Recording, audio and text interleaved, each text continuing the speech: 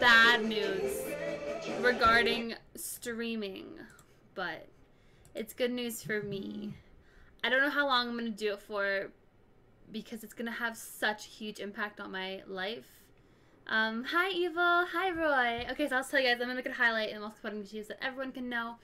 Alright, so basically, I today am going to be quitting um, PetSmart, which is where I worked. I had an interview today and got hired on the spot to um, work in this place. It's a dinner theater, and I'll be, um, it's part, it's called Additional Cast. So I'll be dressing up and I'll be um, acting as I serve. I'll be like a in character, never breaking character. And unfortunately, it's from Wednesday to Sunday and it's from 5 to 12. So, I won't be streaming until 12, like 12 15, but I will be mm-hmm. streaming every single day. So, on the weekends, you guys can see me, and on Monday and Tuesday, I'll be streaming at the normal time, which will be like 7.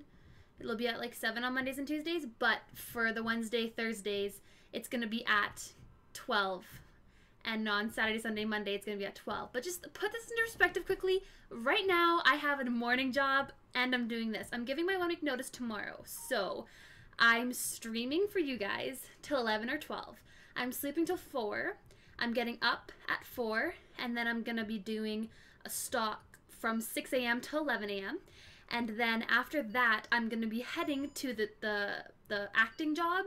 And I'm going to be acting from 5 till midnight and then I'm gonna be streaming for you guys from one till four. Like it's it's gonna be so insane. But once I quit the um, the PetSmart and everything, everything's gonna be good for you guys. I have to quit PetSmart because if I don't, I will get absolutely zero sleep and I'll probably die from sleep deprivation.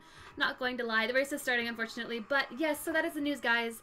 Uh, Monday, Tuesday, I will be streaming normal time. Wednesday, Thursday, I'll be streaming at like 12 which you guys have school, so most you won't be able to watch. But on Friday, Saturday, Sunday, if you guys don't have school, you can watch me, okay?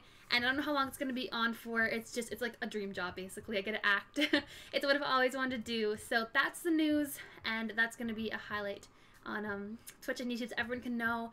I will never quit streaming, honestly. I love you guys way too much. But yeah, just to let you guys know. Alright, let's get the music going.